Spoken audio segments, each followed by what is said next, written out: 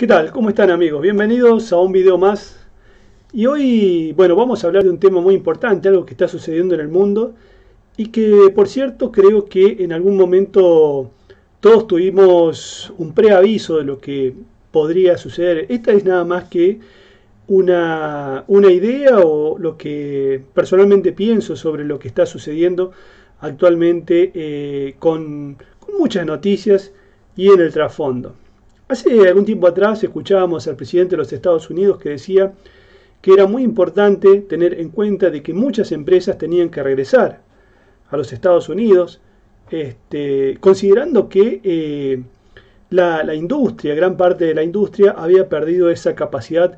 que tenía, no solamente de generar riqueza, sino también de generar eh, puestos de trabajo, que es lo que habían perdido eh, gran parte de los obreros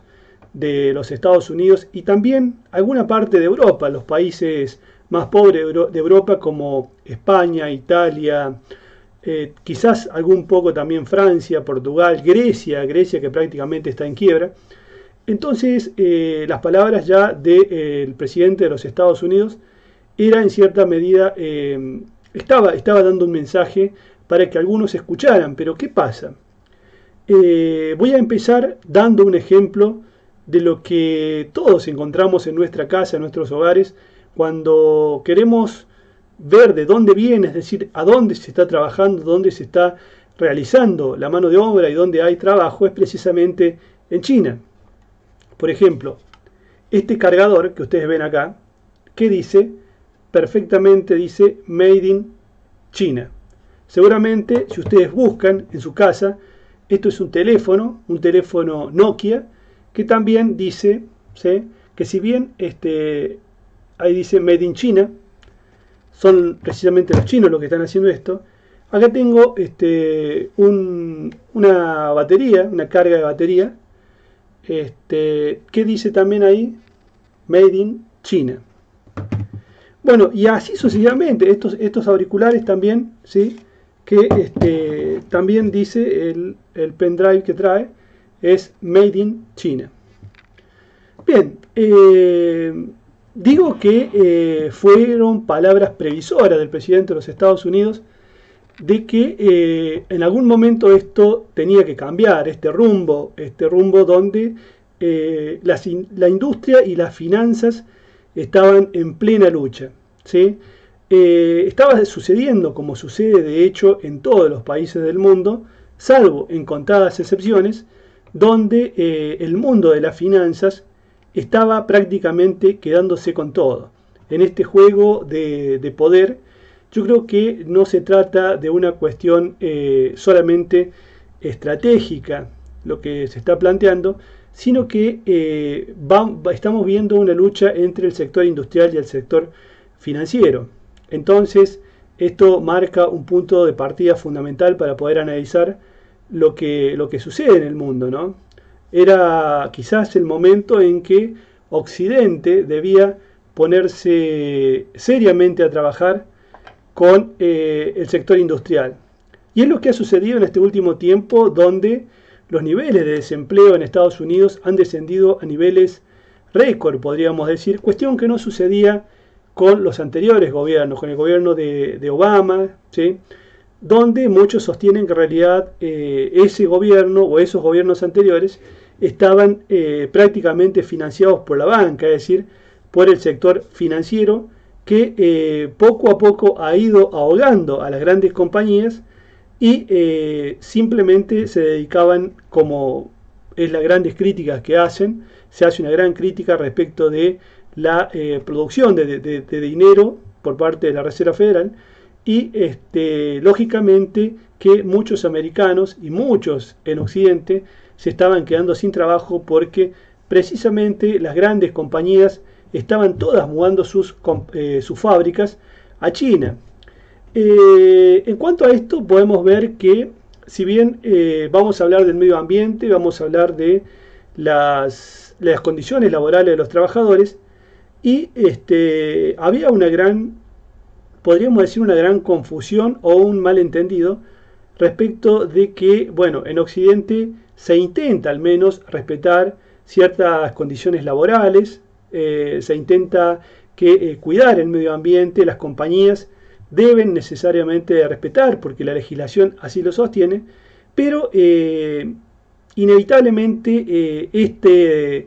este, esta migración de grandes compañías, porque la mano de obra era mucho más barata como consecuencia de eh, que, no había, decir, eh, una legislación tan rígida en cuanto a medio ambiente o en cuanto a las condiciones laborales, se estaban yendo hacia Oriente. Alguien en algún momento tenía que pegar un golpe sobre la mesa y eh, tenía que hacer algo. Yo creo que el presidente justamente de los Estados Unidos va a ser recordado no solamente como uno de los patriotas de los Estados Unidos, sino también va a ser recordado como uno de los patriotas de eh, gran parte de Occidente, porque esta movida de tablero eh, no solamente implica que eh, aquellas compañías que no, eran solamente las compañías, muchos sostienen en realidad los grandes analistas económicos sostienen que eran sobre todo los directorios o los grandes directores que se estaban llenando de dinero. Así también los grandes bancos, los grandes bancos que por cierto no fabricaban un tornillo, no fabricaban un componente, pero a ellos no les interesaba porque en realidad lo único que les importaba es irse quedando de a poco con todas las compañías. Voy a buscar un ejemplo más criollo, me voy a ir a Argentina, yo soy de Argentina, y eh, vamos a ver cómo. Eh, los, los, los gobiernos, los sucesivos gobiernos corruptos del país, han ido poco a poco asfixiando a un sector que es el sector de, que produce la mayor cantidad o una de las grandes cantidades de riqueza, que es el campo,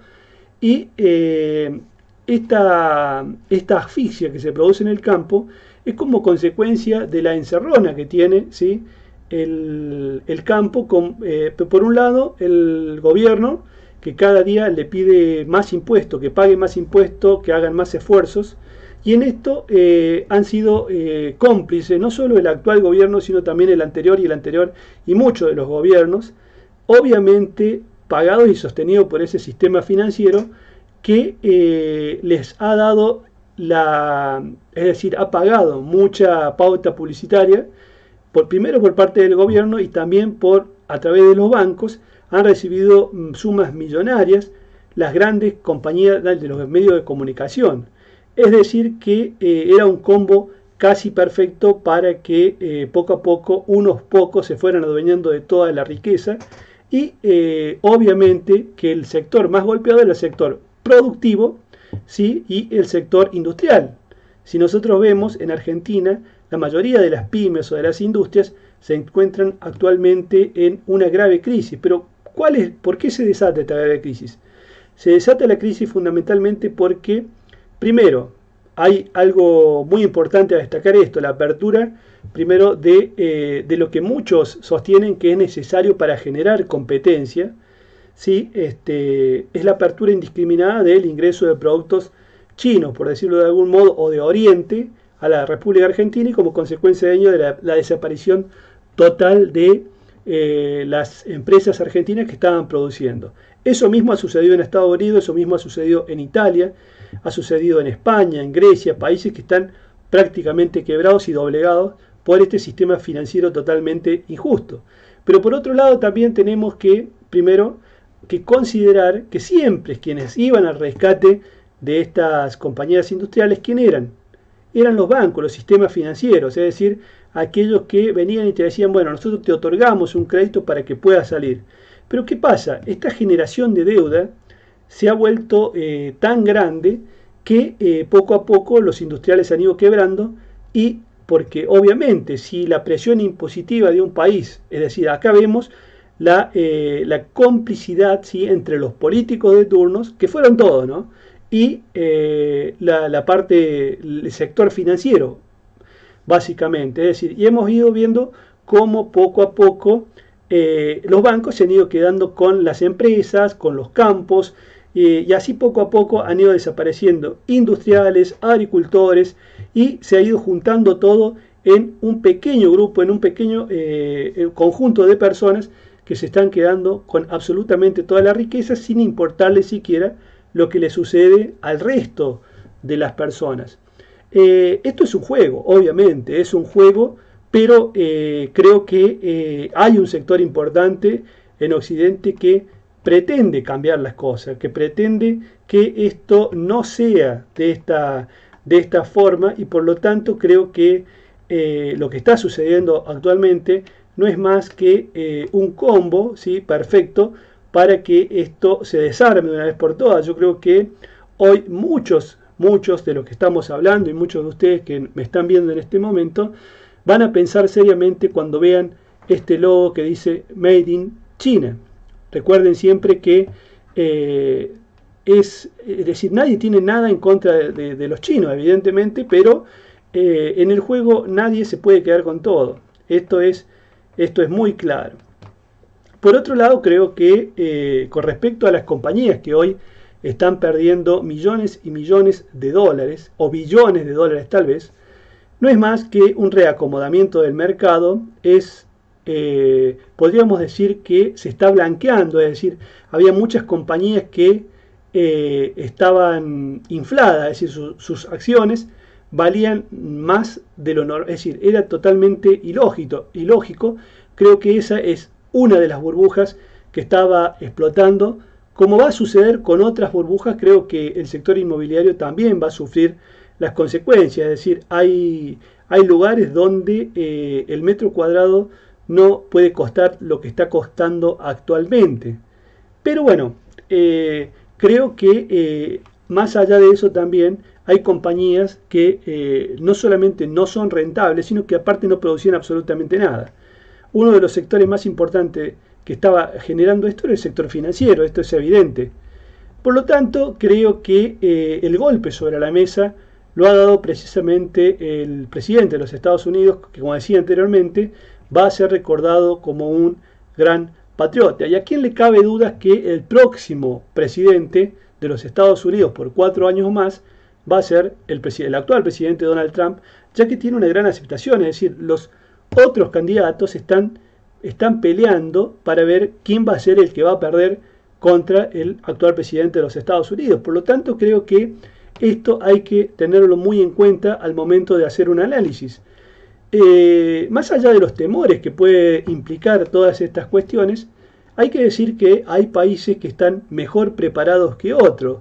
Eh, hay países que no se han desprendido de sus industrias, de sus pequeños productores, y este es un ejemplo que quiero dar fundamentalmente, creo que uno de los países mejor preparados para afrontar esta crisis de, lucha entre el poder financiero y el poder industrial es Alemania, uno de los países, o los países nórdicos, ¿no? Bueno, Alemania es uno de los países que más conozco y puedo observar que las pequeñas y medianas empresas no están ahogadas o no están adquiriendo, no han adquirido deuda durante todo este tiempo, sino muy por el contrario se han capitalizado y están buscando el desarrollo, la innovación, y esto creo que es fundamental, va, a marcar un cambio muy importante en la agenda, en la agenda sobre todo industrial, no tanto en la agenda financiera, que por cierto vamos a ver una grave, una grave crisis en el sector financiero y obviamente un reacomodamiento de todos los papeles en cuanto a acciones se trata.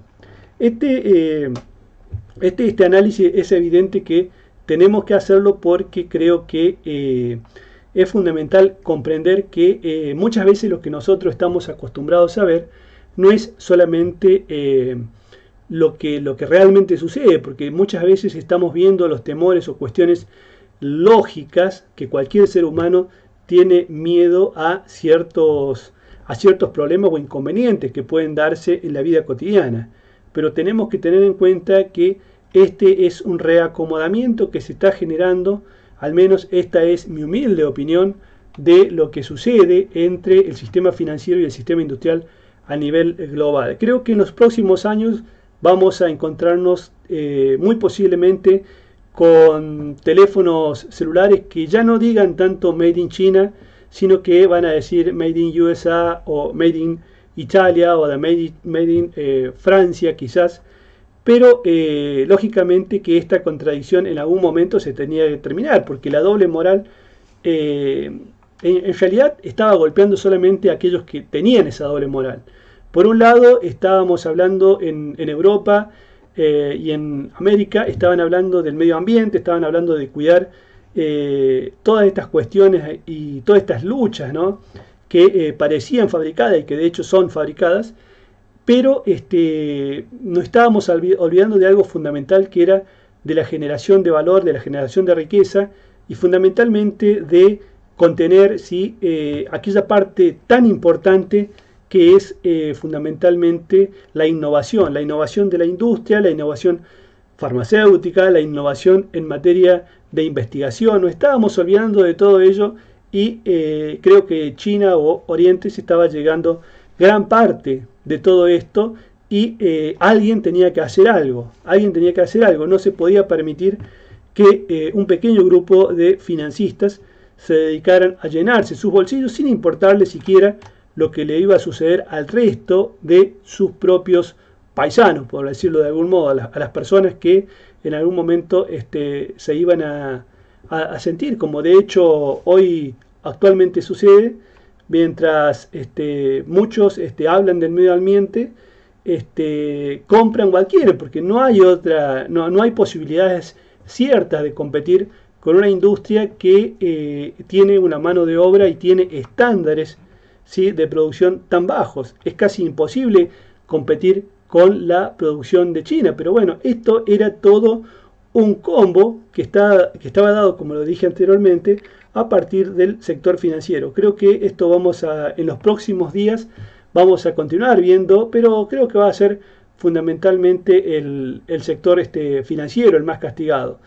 Y creo que esto también nos deja una enseñanza básica y elemental, que es eh, comprender que las industrias locales son totalmente necesarias. Es decir, no podemos entender la globalización como eh, el traslado de toda la mano de obra hacia un solo sector.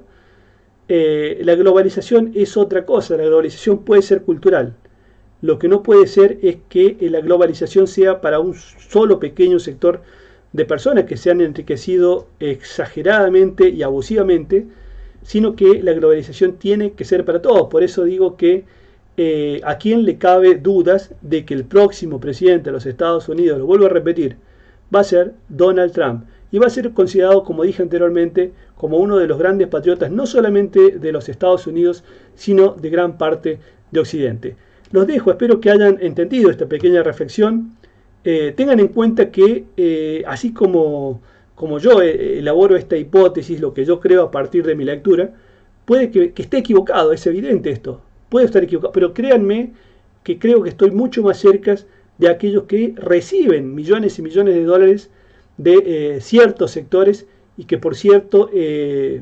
tienen, tienen, tienen, como le dije anteriormente, piensen bien ustedes los argentinos, de lo que está sucediendo con el campo, con las pequeñas y medianas industrias, y cuando vean esta reflexión, díganme si no tengo algo de razón. Bueno, eh, soy Marcos Coria, ¿sí? este, espero que les haya gustado el video, si les gustó el video, compártanlo con sus amigos, seguramente a muchos no les va a gustar, pero bueno, son opiniones, doy mi opinión, y bueno, si al, al que le gustó, le da like, al que no le gustó, le da dislike, qué sé yo. Este,